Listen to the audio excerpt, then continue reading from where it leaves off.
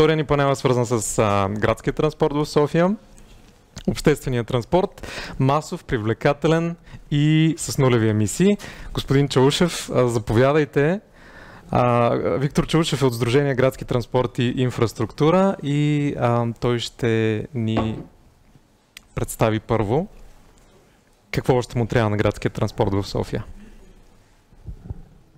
Здравейте. А, нека да започнем с нещо така разведряващо. Според вас какво се е случило на, тази, на тези седалки? Много неща. Само правилни отговори трябва да посочите, не грешите. Много са използвани, най-вероятно. Също така, може би, някой си разлял кафето, качил си е краката, превозил е нещо върху тях, което не е било много чисто. Но аз знам също и какво не се е случило на тези седалки, а това е доброто управление. Това не им се е случило със сигурност. А, аз... Да. Така. Моята тема е много а, интересна, поне за мен. А, какво още му трябва на градския транспорт, така че да стане по-популярен, повече хора да го ползват. Да. Добре. А, една картинка, ще започнем с малко данни. Това е от плана за интегрирано развитие на столична община от 20, за периода от 21 до 27 година. Тази картинка е доста красноречива за това как се развива мобилността в София. Виждате, че за период от 9 години дела на обществения транспорт, градския транспорт е намалял. Също така дела на другите видове мобилност също са намаляли за сметка на, а, движен, на личния автомобил с значително увеличение и съвсем малко при пешеходците. Всъщност тук се вижда, че общественият транспорт се използва регулярно от около 40 на 100. А, т.е. делът му около 40 на 100 от а, ежедневните придвижвания, като защо има едно число 60, ами защото това е а, делът, който е постигнат в други а, градове, а, в зап, Западна и Средна Европа, където градският транспорт е а, най- най-добре развит, най-удобен и а, върши работа на, на преобладаващата част от населението. Съответно, те и го предпочитат.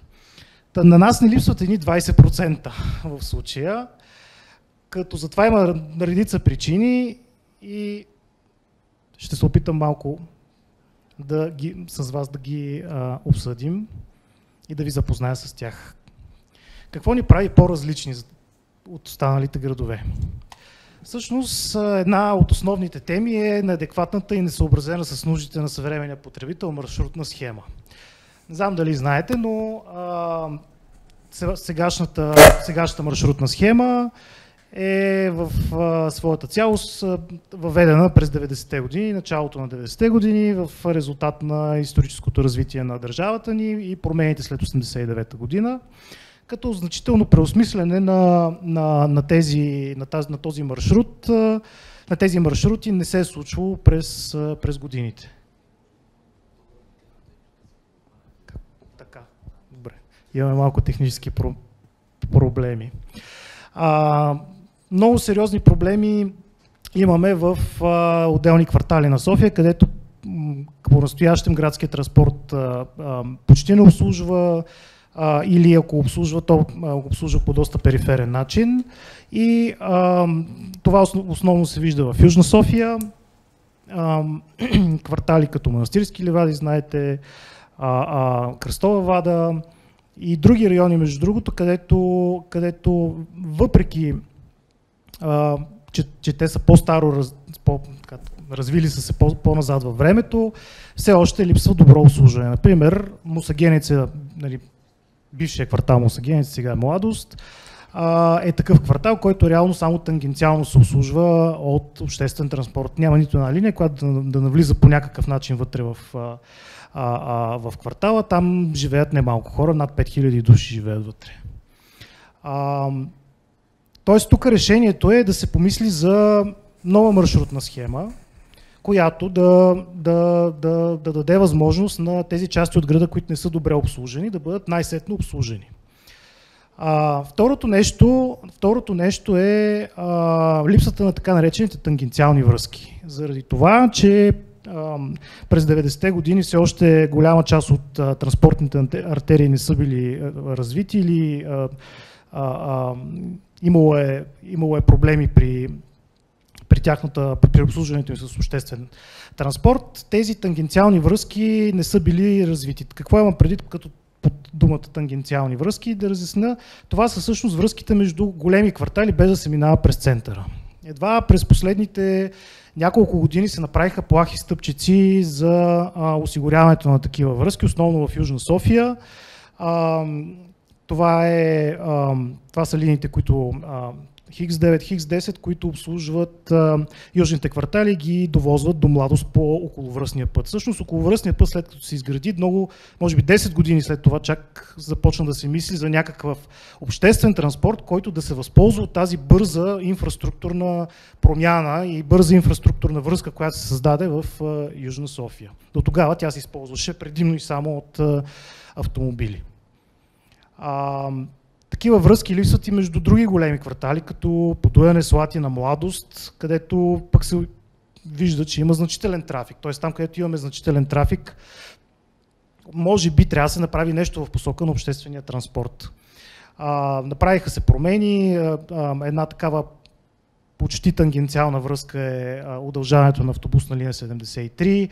Колегите от Спаси София също имаха добро предложение за автобусна линия, точно която да, свърз, да свърже подуене с а, Слатина и Младост а, и студентски град. Да, имаме стъпки в правилната посока, но това трябва да бъде, а, как да кажа, да бъде подплатено с данни.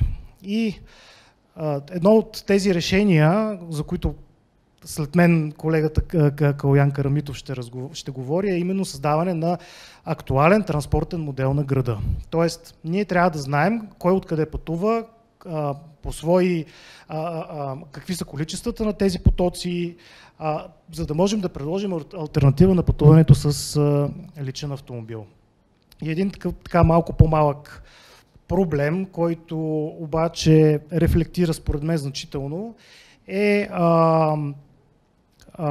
намаляването на обслужването при наличие на метро. Там, където се изгради метро, а, до, общо взето, особено това, което се изгради до към 2009-2010 година, доведе до значително съкръщаване на линиите на земния транспорт. Вместо тези линии просто да бъдат пренасочени така, че да, да допълнят обслужването в тези квартали. Това много ясно се вижда, се, се видя особено и при втория метро диаметър в Надежда, в Лозенец, а, там бяха съкратени значителен, значителен брой линии, което доведе до а, всъщност невъзможност хората да се довозват до метрото. А, в центъра също има, се, се получи такова а, урязване, главно заради намаляване на обслужването по трамвайния транспорт. И в центъра всъщност се очертава, че има значително, така не значителен, но така ярък недостиг на, на, на, на обслужване с обществен транспорт. И заради това, че в първоначалните планове имаше имаше, имах, имаше планирани две метростанции допълнително, които да обслужват центъра, именно на, на първия метро диаметър на, на Царо Освободител и на Раковска и на втория метро диаметър на Солонска и на Витушка, които да подобрят достъпа до, до метро в центъра, но те не се изградиха. И в, ако погледнете, всъщност центъра се обслужва вътре, през него минава а, а, освен трамвайта, една единствена тролейбусна линия. Всичко останало се движи по първия градски ринг а, и въпреки а, нали, това обслужване, то очевидно е недостатъчно, а, се получава сериозни задръствания в, а, вътре в центъра. А, другите, другите проблеми, които са пред обществения транспорт, а, са свързани с а, скоростта на движение и лошите условия, като а, това са трите, така съм ги групирал, три основни, три основни, а, основни проблема, които се, се очертават. Дългото чакане на спирките и бавенето на кръстовища. Приоритизацията а, е а, много важна на обществения транспорт, защото знаете, в миналото, може би, по-ценни са били парите и комфорта. В едно време, което общественият транспорт не е имало конкуренция, т.е. било е важно градски транспорт да е достъпен на ниска цена, да има така добър комфорт на пътуване, за да може хората да го ползват. В съвремието обаче не е така. В съвремието на, заради това, че и общественият транспорт е, е конкурентен и най-ценно вече е времето. Времето всъщност е основният фактор. Тоест, колкото по а, а, така, бързо се движи обществения транспорт и, и, и се доближава и дори задминава а, а, пътуването с личен автомобил, т.е. Той, той, се, той се движи дори по-бързо от, от пътуването с личен автомобил и времето за паркиране на личния автомобил, а, толкова, по, толкова по-използван ще бъде. И това много ясно се вижда с метрото. Това е най-яркият пример. Там, където имаме а, а, метро, там, където имаме трамвайни линии, които са обособени, които се движат бързо, те са всъщност и най-използваните трамвайни линии. А, и естествено приоритизирането на кръстовищата. Не, не, само, не само движението до, между спирките, а, но и преминаването през възловите места в града.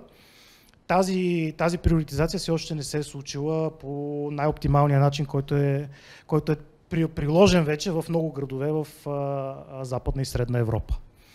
Това е, може много бързо да бъде решено. А, и да, да постигне, според мен, значителен ефект върху времепътуването и върху реномет, да повиши реномето на обществения транспорт, независимо от тези седалки от първия слайд. А, другото, което, друг така основен проблем е недостъпните спирки и лошото състояние. Всъщност, тук, тук са важни много, тук е важно също много а, много целенасочени действия от страна на общината, за а, да може хората да а, не само да се качат, т.е. не само да, използват, да, да могат да се качат на обществения транспорт, но и да достигнат до мястото, където могат да, да изчакат този, този обществен транспорт. А, тук а, а, отново имаме а, спирки, които не, които, а, не, са, не, не се поддържат. Имаме а, до, достъпите до спирките, които са много зле. А, дори на места, където, е, където традиционно а, имаме сериозно прекачване, имаме а, лоша, лоша инфраструктура. Там нямаме, т.е. пътеките са не осветени, знаете, няма да ги описвам всичките проблеми там. Дори на тези места, където е пределно ясно на общината, че, че трябва да има, да има намеса, тази намеса е плаха или много закъснява или въобще я няма. А, това според мен е първото нещо, което трябва да бъде адресирано, а именно точно местата, където се прекачват хората, много, много, много по-добре трябва да бъдат организирани там, да бъде организирана инфраструктура и да бъде поддържана, за да може да, да общественият транспорт да, да, се, да, да се използва. А, в първия слайд в, първата, в първия проблем забравих, сам, забравих да отбележа и разписанията. Естествено, ако трябва да се прекачваш, нали, проблема с разписанията става още по-сериозен, но дори там, където хората не се прекачват, а, много често основни градски линии в, в делнично време са, са на интервал над 10 минути, дори над 15 минути и това естествено води до, до това, че хората просто не ги чакат, търсят си альтернатива. А, и това е другото, което трябва да се, да се адресира, именно а, повечето, повечето обслужване по маршрутите там, където има такава необходимост. А, и този проблем, не знам дали знаете, също резултира върху това, че а, прекачващите се в, в София от една на друга линия са всъщност може би наполовина спрямо този показател в Западна и Средна Европа. Това е една и също много ярък атестат за това какво, как, колко добре е организирана схемата на обществения транспорт. Неподдържаните превозни средства, няма да се спирам, тук действията са ясни, необходимо, необходимо е повече финансиране, необходимо е а, повече, повече средства, контрол също много важно, така че тези превозни средства да излизат на линия а, чисти и приятни за хората, за път пътниците. Самата организация на услугата и управлението й е друг, друг основен проблем, където имаме всъщност множество транспортни оператори. Това е така, може би, най- за мен е яркия пример за, за София, където имаме реално три а, общински транспортни оператора, Метрополитен, столичен електротранспорт и столичен автотранспорт, които са организирани по доста архаичен начин а, които дори в определени моменти изкуствено се конкурират, особено ярък е примера, когато е необходимо да се направи някаква маршрутна промяна. А, там примерно електротранспорта спира да обслужва, въвеждат се заместващи автобуси, обаче понеже това е столичен електротранспорт е различно дружество и неговите приходи изцяло зависят от километрите пробег, които прави, дали трябва някъде да му се дадат допълнителни километри пробег, защото най-просто казано няма да може да се сметката да излезе накрая. Обединяването на тези транспортни оператори е една сериозна реформа, която ще отнеме може би около 3-4 години, но това трябва да бъде направено рано или късно, защото това ще доведе до, а, до доста по-гъвкава гъвкава и съвременна организация и възможности а, обществения транспорт с средствата, които в момента се харчат, да произведе доста по-добър продукт за пътниците. А условията за работа за производствения персонал, това са техници и водачи. Това е другия голям проблем. Там има възможност чрез европейско финансиране да бъдат подобрени условията в депата и гаражите, така че персонала сам по себе си да не бяга най-малкото заради това, че няма една туалетна, където през деня да а, дали, за елементарни неща става въпрос. Тук отново просто трябва проекти и а, работа в, в, в, конкретна, в конкретно тази посока. Маркетинга е другото нещо. Разбрахме от господин Аврамов, че се правят проучвания ежегодни за пътническата удовлетвореност. Това е добре. Въпросът е какво следва от тези, от тези проучвания и какво това, какви промени последват от тях. Но аз не съм останал с впечатление, че някакви промени сериозни се случват. Събира се една информация, а, и а, каналите, дори най-лесните и прости безплатни канали, които а, а, могат да бъдат използвани, не се използват по най-оптималния начин, така че общественият транспорт да бъде така да му се подобрява реномето и да се, да се разказва най-просто казано на обществеността за преимуществата от неговото използване. Няколко други, други проблема, с което ще завърша. А, така един доста, доста важен за мен, за мен проблем е това е липсата на гъвкавост на подвижния състав. Какво имам предвид под липсата на гъвкавост? А, при, приоритетно до момента са купувани, пример ще дам с автобусния транспорт, са купувани 12-18 метрови превозни средства. Тези превозни средства обаче могат да се движат по големите улици с а, ширина поне 7 метра, с определени параметри на, на, геометрията на тези улици, което води до невъзможност чисто, чисто техническа тези автобуси да навлязат в по-навътре в кварталите и по-близко да бъдат до хората, които а, да ги използват. Затова е необходимо, особено и в за централната градска част и за а, по-новите квартали, да бъдат предвидени нови превозни средства, които да бъдат с по- малки габарити, но с достатъчна пътниковместимост така че да могат да влизат в малките улички и да обслужват по-близко нали, населението, което живее вътре в тези квартали с тези по-тесни улици. А, липсата на задълбочени проучвания за бъдещето и ясни индикатори за целите е нещо друго. Стратегиите, които, са, които касаят развитието на обществения транспорт в София са а, как да кажа, ориентирани по-скоро към освояване на средства, отколкото да бъдат а, направени конкретни промени, така че а, самата услуга да бъде доста по-устойчива и а, економически ефективна. А, тук е необходимо доста така целенасочен подход, а, така че да за следващите 10-20 години да бъдат планирани инвестициите не, не съобразно това, откъде, нали, основно, заради, основно от това, къде, откъде ще дойдат външни средства за тях, а да бъдат планирани така, че ефекта от тези инвестиции да бъде най-силен и да доведе до, до сериозна промяна в а, пътническата, т.е. в ползването на обществения транспорт, в дела да бъде повишен на, на обществения транспорт. И също а, приоритизирането на проблемите. При, проблемите за съжаление, в момента се решават на, на пожар, а, без а, някакъв ясен и структуриран подход. Т.е. когато нещо се прояви, когато нали, пожар, пожара се запали, тръгваме да го гасим, а, вместо да, да, да, да, да правим превенция. Т.е. да отчитаме сега какви са слабостите да може това бързо да бъде а, променено още, зародиш преди да пожара да се запали, най-просто казано. А, това е от мен. А сега за, за край се пак да видите всъщност тези седалки как, гледат, как изглеждат в един друг град, където управлението е малко по-добро от Софийското. Благодаря ви. Да, специално за седалките аз а, не бих а, пренесъл изцяло отговорността към оператора на, на превозните средства, защото и доста пасажери въобще не пазят, а това е също много важно. Какво е отношението на хората към... Те, защото това е също вид обществено пространство.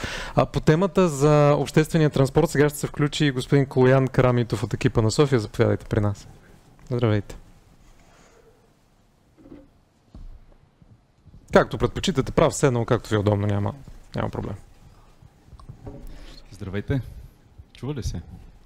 Да, добре. Калян Карамитов се казвам, от екипът на София, урбанист. Това ми е така кратката визитка. А, бих казал и транспортен урбанист се базикаме с някои колеги, защото съм участвал и водил доста изследвания, свързани с а, мобилността, транспорта, изобщо ам, предвижването в, а, в градска среда, а, основно в, в София, но и в а, други градове. А, като темата, която аз ще, ще представя днес е за това защо считаме, че транспортният модел е изключително важен за развитието на обществения транспорт, но изобщо за транспортното планиране и за градското планиране като цяло. Това е така, защото връзката между градското планиране и транспортното планиране е доста, по, доста по-голяма, отколкото може би си даваме, отколкото си даваме сметка в началото, отколкото си представяме.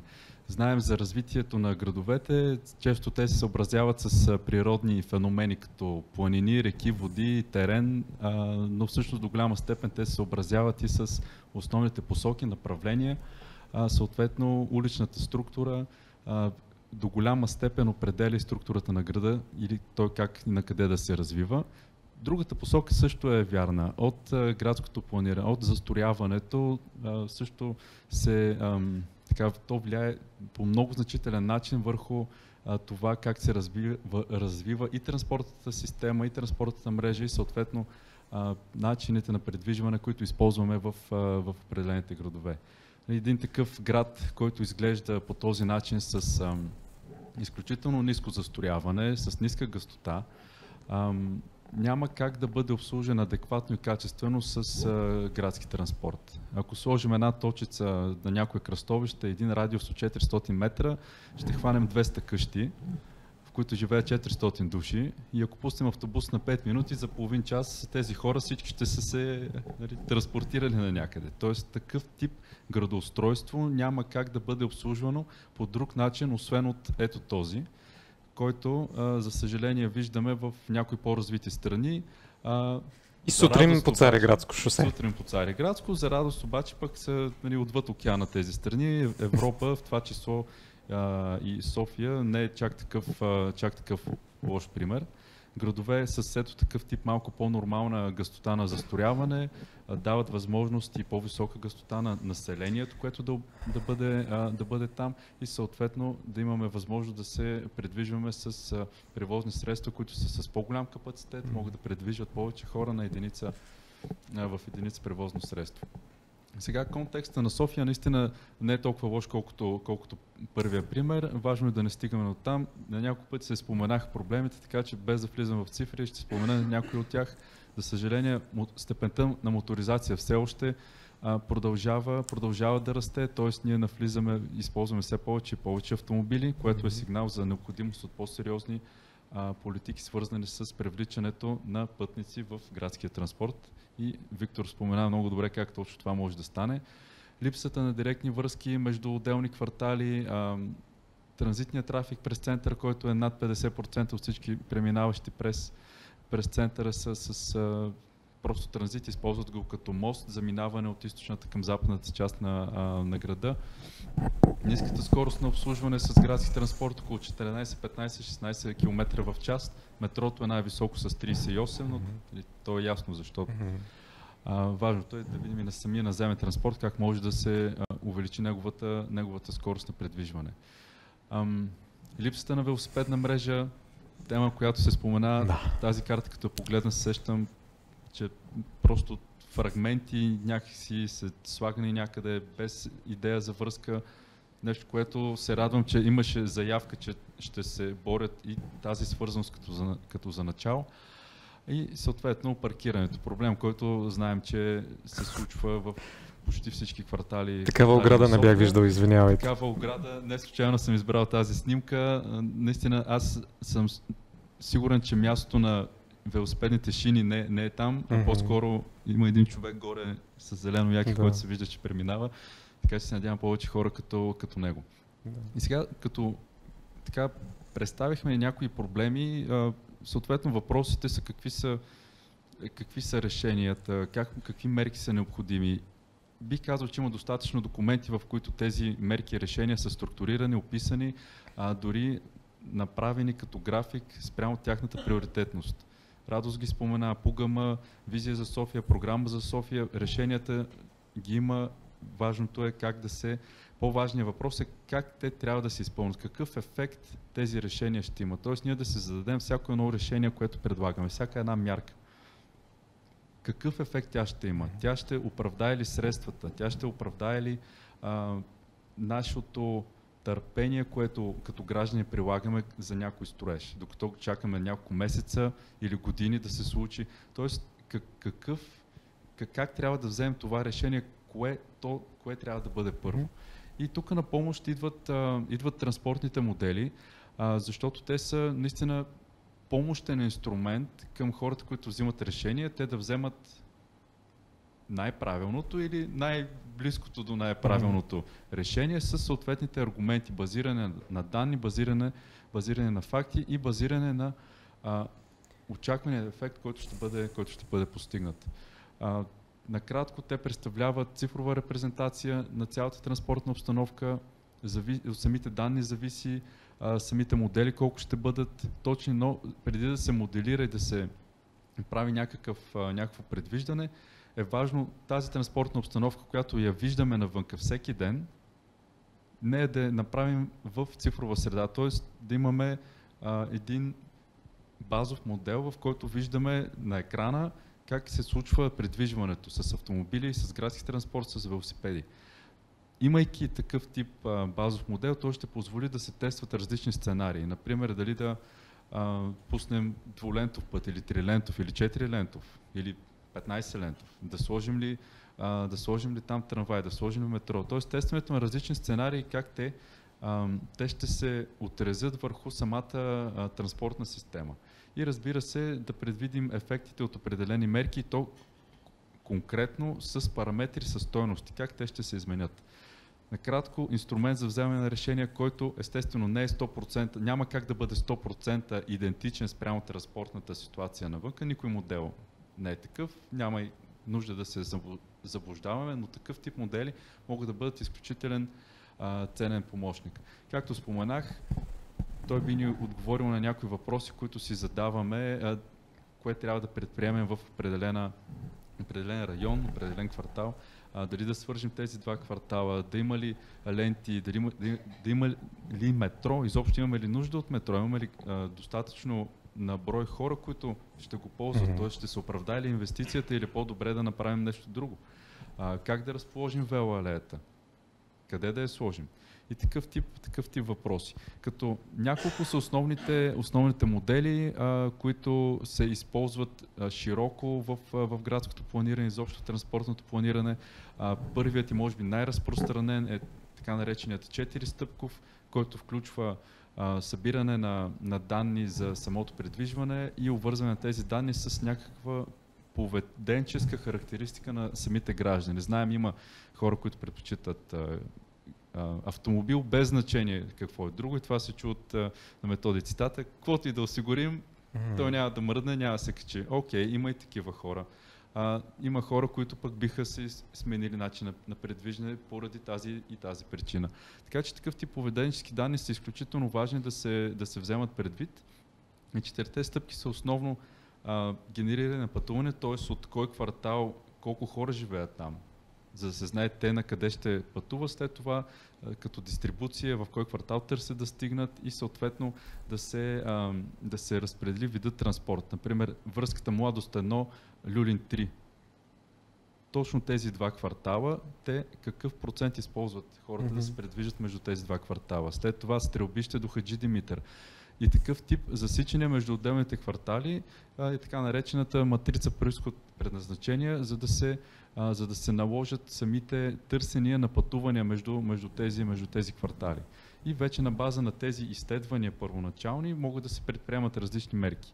Други модели, агентно базиране е по-нов модел, който до някаква степен стъпва на 4 стъпковия, но с по, много по-сериозна тежест имат поведенческите данни, където самия модел е ориентиран около единицата човек. Агентно базиране се стреми да ам, представи максимално близко до, до хората, т.е. от отделни агенти, хора, които се движат спрямо техния дневен, а, дневен график, дали да отидат до работа, след това до магазина, след това с приятели, т.е. да се направи една връзка на пътуванията не само между, между квартали, ами спрямо единицата човек. Те са доста по-точни, ако са направени по-правилно. И не става дума само за тайни агенти, за всякакви не, хора. Не става дума за тайни агенти, всеки един от нас там се нарича, там се нарича агент.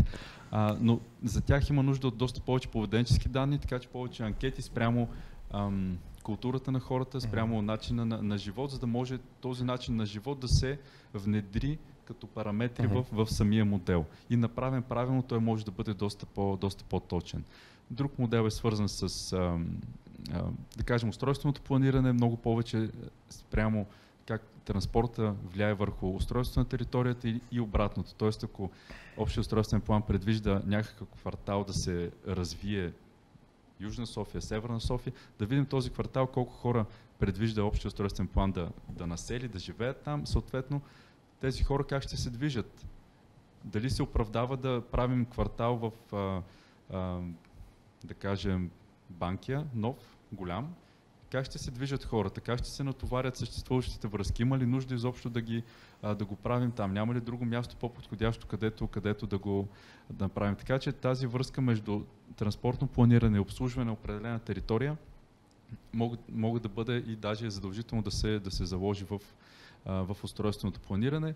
Микромоделите са модели, които дори залегнаха наскоро в, в наредбата на Столична община за транспортните поручвания, в които се задължават сгради над 20 000 РЗП или над 200 паркоместа да се правят, да правят такива изследвания за самото кръстовище, mm-hmm. най-близките отсечки, как ще бъдат натоварени те, ако се, ако се приеме еди кое си, еди кое си ПУП да разреши еди кое си строителство.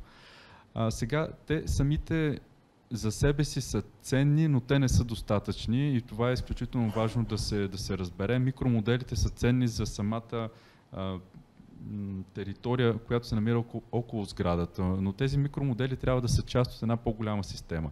Затова създаването на единен базов а, транспортен модел е изключително ценно и необходимо, за да се види тези малки моделчета на отделните кръстовища, те как се вписват в цялата система. Защото и да кажем, че тук от 100 на 150 автомобила не е голямо увеличение на определена отсечка, то тези а, автомобили всъщност трябва да видим в цялата система как ще натоварят и съседното кръстовище, mm-hmm. и съседното, mm-hmm. и тези до тях. Тоест изобщо как пътникопотоците се променят, когато се разположи някакъв обект, който генерира повече трафик и съответно повече, повече ползватели. Доста да, болна тема в хладилника, само в скоба. Да, доста болна тема в, в хладилника. Там виждаме, че има а, натоварване, но не виждаме да има така някои мерки за ограничаване на, и успокояване на, на движението. А, да, това, което показвам на този слайд е, че моделите, транспортните модели също не е само един. А се работи с система от модели, които могат да бъдат прилагани спрямо мащаба спрямо дали това планираме ам, града, общината, дали планираме квартал, дали планираме определено кръстовище. И с а, тази картинка на, на нашият а, актуален общ устройствен план а, има някои ам, точки, които, а, които споменах, че връзката между градското планиране обществения, и общественото, обществения транспорт също е изключително ам, изключително свързана и този градски план, който виждаме, той трябва много ясно да следва самите политики на транспорта планиране. Не може да си предвидим някаква територия за застрояване, само защото там все още, все още е празна. Тук се взимат и различни фактори, като изобщо дали расте населението на града или не расте, дали привличаме бизнес или не привличаме, имаме ли достатъчно зелена и така нататък. Но последният транспортен модел, който е правен за София е когато този план е бил правен преди около 15, може би дори 20 години. От тогава до сега такъв цялостен транспортен модел, модел не е правен. Съответно, при неговата актуализация на този модел, защото се говори от известно време, че актуализацията на плана, че той трябва да се актуализира вече, е необходимо и такъв транспортен модел да се създаде. Така че наистина, ако се тръгне към актуализация на общия устройствен план, транспортното моделиране е една от, една от стъпките, които трябва да го, да го подпомогне. Разбира се, тези модели могат да подпомогнат и организацията на движението, дали да направим еднопосочни улици, дали да забраним а, левия завой някъде, а, съответно да планираме пък разширението на обществения транспорт.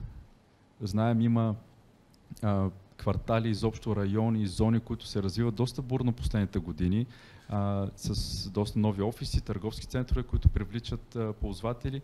Общественият транспорт а, и маршрутите се адаптират, но може би с по-бавна скорост, затова се говори и за необходимост от нова маршрутна мрежа. Тази мрежа най-добре да се направи и да се моделира първо в цифрова, среда, преди да се сменят истинските графици и наистина да се сменят маршрутите в, в физическия и реалния град. Естествено, ефектите от транспортните политики могат да бъдат измервани върху в цифрова среда предварително, така че такъв модел е наистина ключова стъпка и за постигането на ето тази цел, която е извадка от Пугама, с която си поставяме до 2035 да сме достигнали 80% устойчиви форми на транспорт. Тези 80% тук не са разбити на обществен пешеходен и велосипеден, но ако кажем, че пешеходният е между около 25, градския да е 40, то остават още може би 10-15% велосипедно движение, което е една доста, доста висока цел, но пък не бих казал непостижима, имайки предвид, че София е сравнително компактен град, т.е. разстоянията а, на предвижване са сравнително кратки и с една добра мрежа, безопасна, може да се осигури а, постигане на тази цел mm-hmm. по-скоро, отколкото дори тук е заложен. Е, благодаря ви.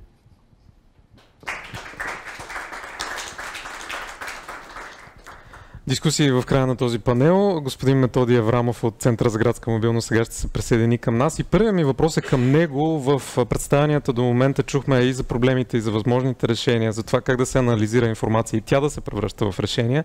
Но кои според вас са най-ефективните, но тук ще добавя думата атрактивните а, мерки и начини, чрез които хората могат да бъдат привлечени да ползват градския транспорт повече? Да, благодаря за поканата.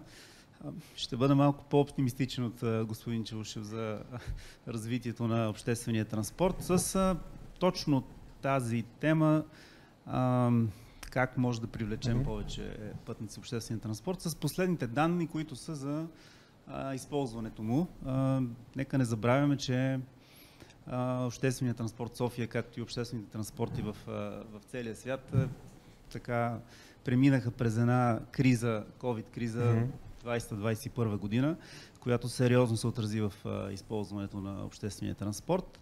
А, положителните тенденции обаче са на лице. Тоест в София, декември а, 20, 2023 година, както сега януари, сравнено с а, януари 19, който беше предпандемичен, uh-huh. а, имаме повече път, пътници. Тоест имаме повече пътници, които използват а, обществения транспорт. А, не само повече, но и а, 2023 година беше първата година, в която действаше изцяло нов принцип на тарифиране на, mm-hmm. на обществения да. транспорт. Тоест, ето един, едно Приключихме с перфораторите. Да. Едно нововведение, новата система за таксуване, mm-hmm. което даде не само инструментариум за нови тарифни продукти, а, но и възможност за оптимизиране на услугата на база на тази информация, която а, всички споменавате много важно. Прощавайте, казвате за увеличение. Може ли с числа обаче? Проценти или хиляди? А, имаме за първи път а, през 2023 година, сега последните месеци, наблюдаваме преразпределение на а, пътуващите, ползващи различни превозни документи. За първи път най-използваният превозен документ е годишната карта. Mm-hmm. Докато през 2019 година най-големия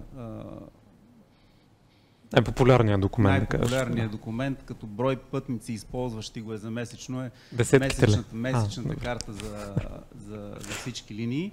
вече през 2023 година персонализираната, че и не персонализираната карта, по, а, която е годишна карта, имат най-голям процент потребители. За сравнение, а, също мога да отбележа, че броя а, пътници, които ползват годишен абонамент, вече достига близо 100 хиляди.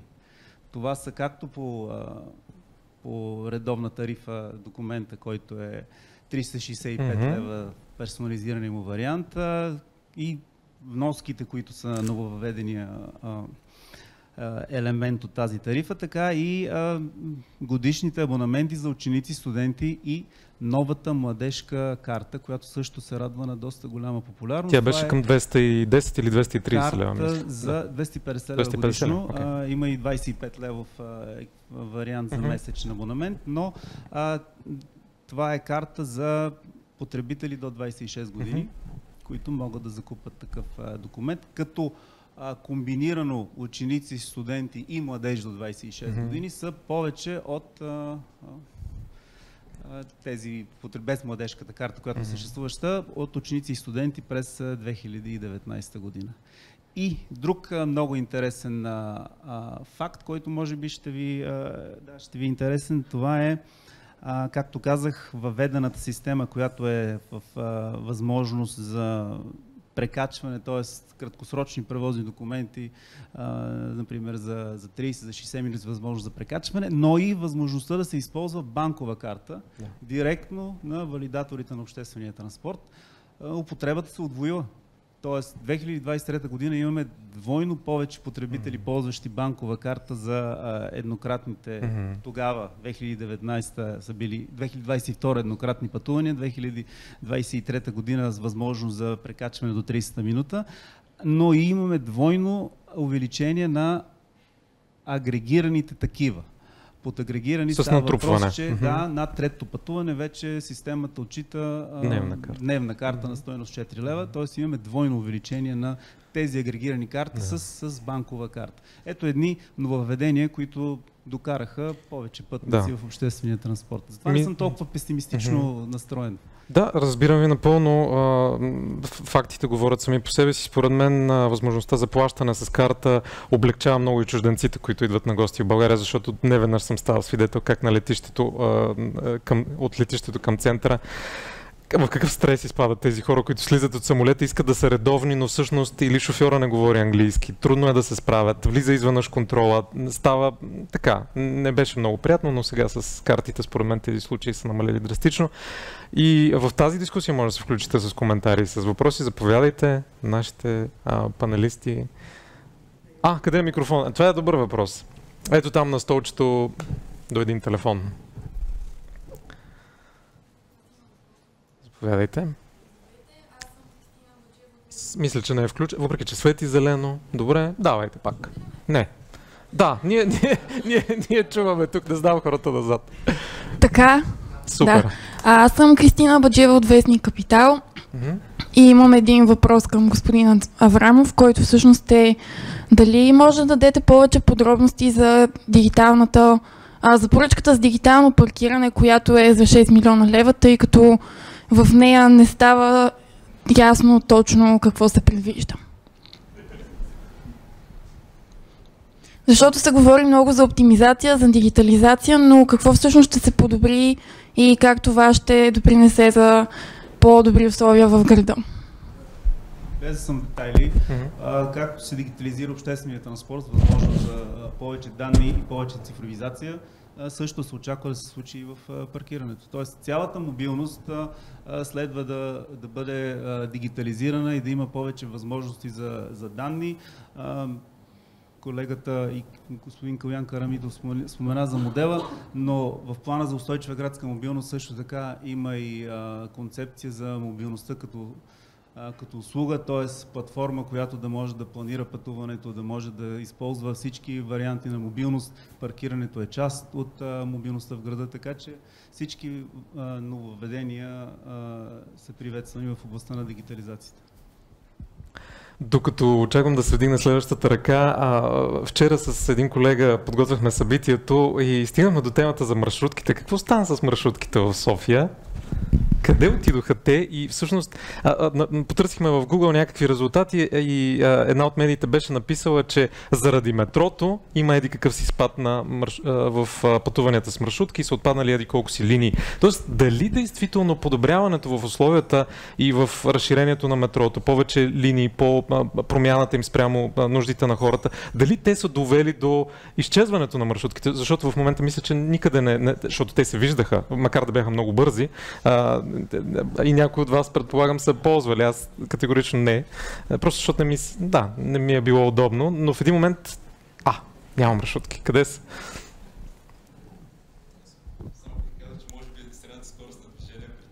Ето. Све... Да, да, да, да, да, абсолютно. А, доколкото аз имам информация, маршрутките не се изпълняват вече, защото фирмите, които ги изпълняваха, вече нямат желание да изпълняват тази услуга, тъй като няма пътници. Те а, не получаваха никакви средства от общината, mm-hmm. те се издържаха изцяло от превозни документи. и от претъпкване на да, превозните да. средства. И а, всъщност последните, последните линии, които а, по, по мои спомени се обслужваха, бяха тези към периферните села на София, като там а, при тяхното премахване имаше някакви проблеми така, с местното население, но mm-hmm. те се, мисля, че решиха с, до някъде с а, така, промяна на обслужването с обществен mm-hmm. транспорт. Добре, въпроси ли го а, Здравейте, аз съм Дена Попова и а, всъщност относно велоалеите и изобщо планирането на велоалеи ще дам един такъв пример с а, една велоалея, която беше изградена на булевард Пушкин преди, може би, две години. А, и всъщност аз като нередовен велосипедист се зарадвах доста на тази велоалея. Скоро след това обаче не толкова жителите по булеварда, колкото родителите в едно училище а, наистина се надигнаха против тази велоалея, защото пречи на паркирането, така, така, така, така. И всъщност тя беше премахната, което със сигурност е довело до много непредвидени разходи. Изобщо цялото това упражнение със сигурност е, е било неуспешен опит. Но се замислям, а, че към планирането е изключително важно, вероятно, да се направи някакъв анализ на нуждите на дадените маршрути, изобщо как това ще се отрази на съществуващите а, а, потоци от хора, пешеходци, какво ли още не. А, да, не знам, по-скоро коментар е това, не толкова въпрос, но... Благодаря ви. Да, разбира се. А, много е важно в транспортния модел да бъдат вкарани максимален брой данни и тези данни да дават максимално добра представа за актуалното състояние на мобилността на населението. И това са, могат да бъдат използвани много съвременни методи, като не само проучвания, задълбочени социологически проучвания, но и данни от мобилните оператори, те могат да бъдат използвани и всъщност анонимизирани естествено данни, които да бъдат вкарани в този транспортен модел, които биха дали доста, доста конкретен, точен и ясен резултат, кой откъде, за къде пътува, какви са размерите на тия потоци и това да доведе естествено до адекватно обслужване с обществен транспорт. Разбира се. Да допълня като отговор, тук е въпрос, този пример, който давате, наистина е доста показателен за София. Знаем и други такива, Патриарха е един от тях. Ам, ако искаме да достигнем тази цел, която преди малко не нали, с нея завърших, всъщност, за да я достигнем до нея, трябва да има постоянство в политиките, които прилагаме, транспортните политики специално. А, защото без такова постоянство, всеки път напред-назад ние няма как да достигнем тези цели. А, не случайно тези цели са заложени и от екипите, които са разработвали тези документи, но те следват и добри примери, практики, европейски регламенти, европейски програми, които са насочени към устойчив транспорт. Това не е случайно. И не, и не е случайно, а, той и Андрей по-рано, по-рано го каза, за да развиваме устойчив транспорт, било то осигуряване и на бус на, на обособени трасета на обществения транспорт и велосипедни алеи, то има места на конфликт с автомобилите, който ще трябва да устойчивия транспорт да наделее над него. И не трябва да забраняваме изцяло всички автомобили, да кажем в този град повече коли не, но със сигурност те с растящата моторизация расте и пространство, необходимостта от пространство на автомобили. Ако няма политики към смаляване на това пространство, то няма как да направим а, тези други устойчиви форми на транспорт по-привлекателни, защото пространство в града е едно. Нали, не може да има хем паркоместа, хем три ленти за автомобили, хем пък да имаме а, или авто, автобусна лента и така нататък.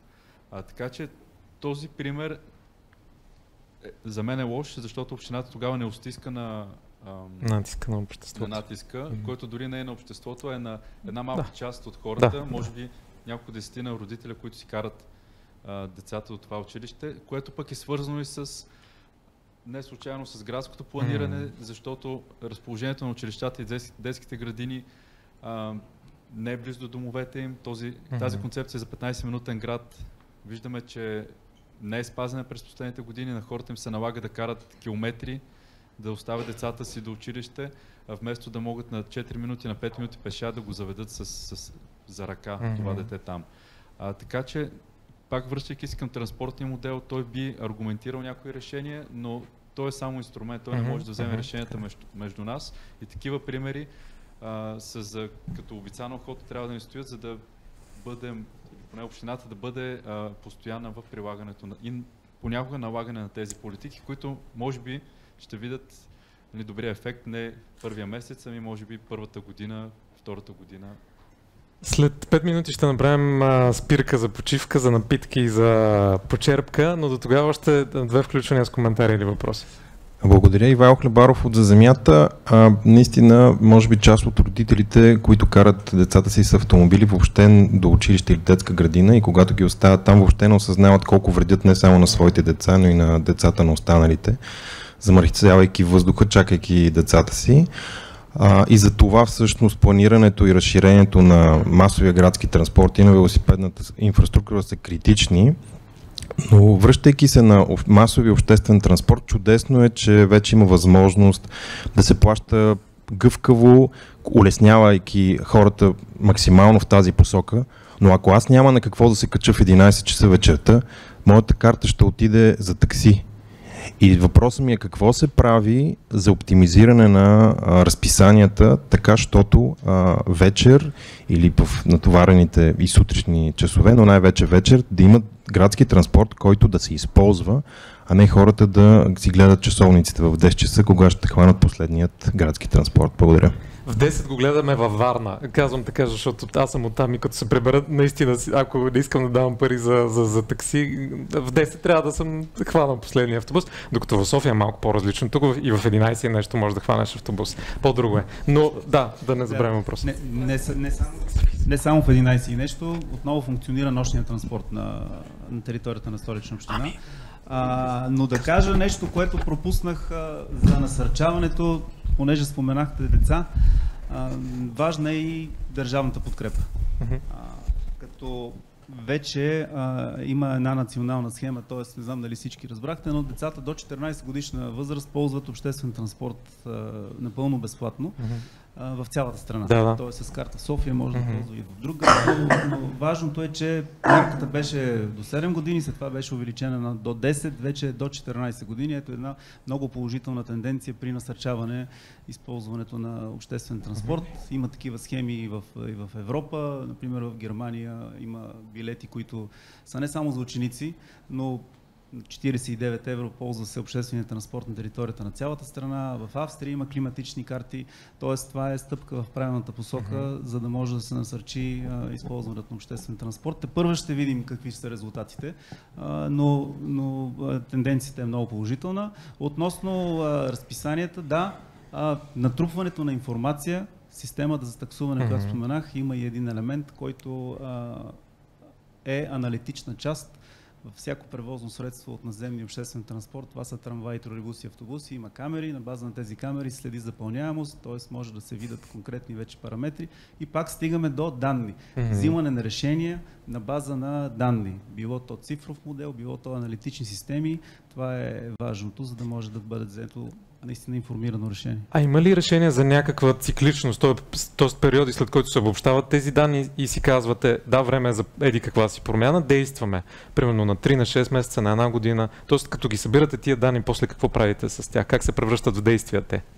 експлуатационните планове, например, са 3-месечни, а, но все пак не трябва да забравяме, че става въпрос за един ресурс. Тоест, а, километрите, които се изпълняват в София, са порядъка на 65 милиона километра годишно. Това са всички видове автобуси, трамваи, тролейбуси и метро. А, така че говорим за ресурс. А, а, има също така криза, която е в, а, в световен и европейски мащаб, липсата на водачи. Затова не ни остана време, може да. има превозно Така е. средство, може да има... Всички виждаме а, обявите и в тролейте, и в а, автобусите, да, някои непрекъснато. линии, например, а, тази анкета, която споменах, а, не ми остана време да спомена, че а, хората са, например, много доволни от а, тези линии, довозващи линии или линиите, които бяха пуснати като допълнителни в, а, например, в Манастирски ливади, където няма възможност а, голям автобус да, а, да оперира, но да. а, да, доволни са от тази услуга, ползват я. А, в, в някои от тези линии те не са в, в, в, в уикендите, т.е. събота и неделя. Искат да бъдат в уикендите. Тук говорим вече за наличност на водачи. Търсят се варианти. Града е голям, общината е голяма, така че, така че да. Между другото, едно поручване, което София Пан направи преди години, показа, че пешеходната достъпност до спирки на обществен транспорт е доста добра, доста по-добра от много градове в, в Европа. Това тези- какво означава? Ами, 400... Ага, близостта Да, по-скоро. всъщност, Не, не точно през какво минаваш, за да стигнеш до спирката и как изглежда пейзажа, а колко бързо Да, стигаш. Окей. качеството, качеството на пешеходната мрежа не беше оценено тогава, но беше оценена самата свързаност на мрежата. Мгм. Тоест, около спирките, колко хора живеят около, около Мгм. тях. На 400, на 800, на 1200 метра и в София всъщност наистина а, е доб... има добри показатели по Мгм. това, т.е. спирки има. Да. Спирки има до, до гражданите, въпросът е вече самите маршрути, доколко са, доколко са адекватни. Това, което се вижда и с 7-3, една от новите линии, всъщност аз поне и от разговори, може би данните ще кажат по-точно, че се използва, защото свързва всъщност южни, южни квартали, които преди това не бяха свързани. Мгм, Тоест те с кола може би отнема 5-10 минути, а с, автомоб... с автобус нали, тогава трябваше да стигнеш до центъра обратно за 50. А, така че адаптирането на маршрутите спрямо ам, нуждите в града, така че през, важното е през тези спирки а, какви, какви, маршрути, какви маршрути минават, но като, като заложба, като заложено, има, има сравнително често спирки. Съм- така че Да не се оплакваме. да, не. Има, какво, има и какво, какво да се оплаквам, защото ако кажем всичко е перфектно, Ще спрем, ще Да, замръзнем и, и ще си седнем и така всичко е наред. съвсем обективно казваме и плюсовете, но казваме и минусите, по които Мгм. всъщност трябва да се работи. За това има Мгм.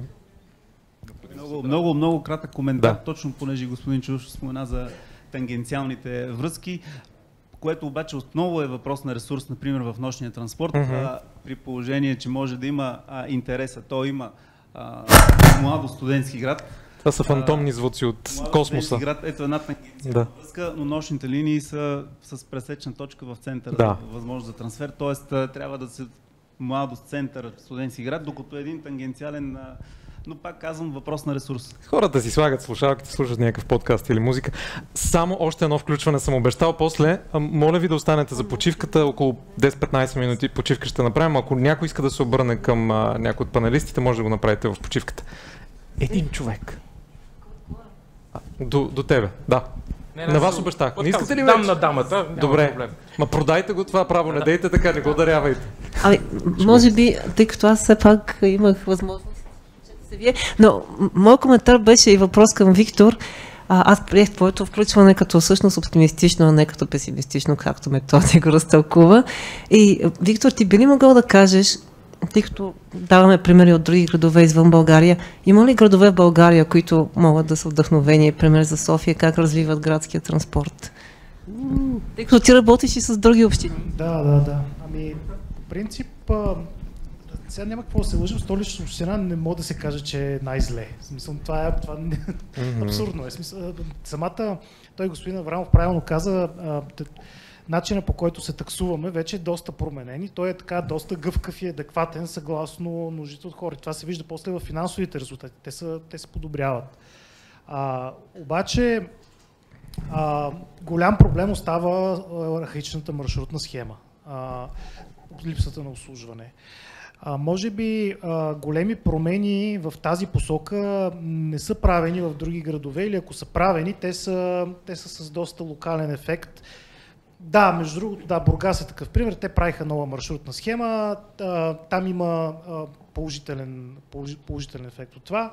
Аз съм участвал в разработката на новата маршрутна схема на община град Добрич, която вече се а, изпълнява. Резултатите са отново в положителна посока, но тук имахме един голям проблем, тъй като самата община, меко казано, се самообламира. Тоест, новата маршрутна схема беше въведена без абсолютно никакво съдействие от страна на общината, която е възложила разработката й, като нямаше информация по спирките, нямаше а, а, дори поставяне на спиркознаци на новите спирки, в, които се създават в, в, в, в размисъл. Там, там, е, беше, там е много Ама някакъв пример. преврат ли е станал? Тоест как? Просто една сутрин се ами... събуждат хората и, и не знаеш къде да, да отидеш. Да, да, единственото общината, което направи е да а, на, на своя сайт да публикува новите маршрути, ага, центъра на площада да сложи едни табла за една а, седмица, с тези същите неща, които ги има на сайта.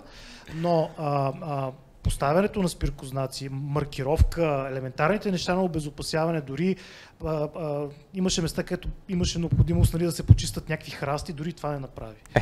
А, нали, в смисъл, а, по много елементарен начин, някакси общината беше, беше си решила нали, ръководството, че това е задължение на транспортния оператор, mm-hmm. който пак е общински, обаче това, това не е така. Не си говорим, не се харесваме да, да, да, и всеки си работи. Много, много, да. По много абсурден начин а, се случиха mm-hmm. нещата, но въпреки това, пак хората са доволни от това, mm-hmm. което се случи mm-hmm. в Добрич и те почват да използват повече и повече обществен транспорт. И те тръгват от много ниско равнище. От дял а, ние го измерихме 12,6% mm-hmm.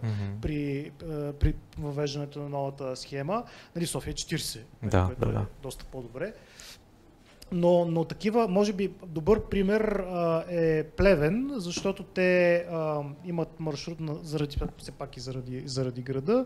А, те имат така една много добра а, маршрутна схема още в миналото въведена, която после е бетонирана чрез изграждането на тролейбусен транспорт и а, реално с модернизацията на техния тролейбусен транспорт и сега покупката на електробуси, реално целият транспорт в града е нулево емисионен, електрически wow. и включително с електробуси се обслужват Добре. населени места до извън, извън Плевен. Много благодаря. Последен, последен. Не, не е коментар, въпрос е към не, господин... Не ви чуваме много добре. Вижте, свети или зелено там? Свети. Свети. Давайте с най-силния глас. А, въпрос към господин Аврамов от ЦГМ. Подновявам, аз също съм журналист от а, сайта сега. А, подновявам молбата си за повече данни за увеличението за 23-та спрямо 2019, ако не точни цифри, поне процент. И е, допълнение, ще стигнат ли тези, този ръст в приходите за тези 15% увеличение на заплатите на шофьорите, които бяха обещани от е, кмета?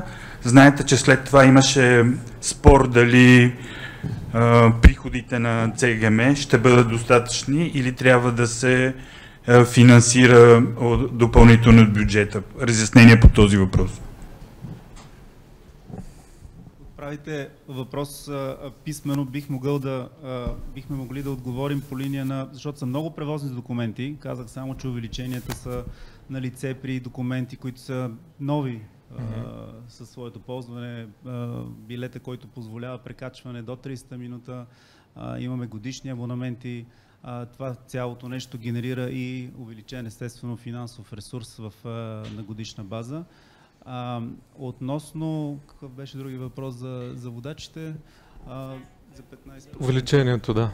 да заплатите. бюджета на градския транспорт тъй наречената економическа рамка се формира от много източници, не само от бюджета на столична община, има национално финансиране, има собствени приходи. те първа се правят разчети, така че това е на дневен ред да бъде дискутирано. Да, този въпрос беше очакван и е свързан с условията за, за труд в обществения транспорт, за които ние просто не остана време. За съжаление не успяваме да покрием всички теми в, в панелите, по които дискутираме, но действително ще трябва да има и още той в момента има придобивки, които са изписани добре на, на, на тези обяви, но явно и те не са достатъчни, за да, за да има прилив и наплив. Ама то не е само сектора на обществения транспорт, много други сектори се задъхват поради липса на квалифицирани кадри, а общественият транспорт е такъв тип, не може всеки да отиде и да работи там. Изисква се квалификация. В един от последните Умения. международни доклади до 2026 година само в Европа ще има недостиг на около 2 милиона шофьори. Това ми напомня uh, старта на третата линия на метрото, когато беше комуникиран. Тя може да пътува и без водачи, само че като за начало да не се стряскат uh, пътниците, ще има ватмани или както там се казва, машинисти, извинявайте. А, и след това в някакъв момент май ще ги пуснат а, да, да, да пътуват и без. Трамвай, да. Да, хората без работа няма да останат при всички положения. Благодаря ви много за участието в дискусията.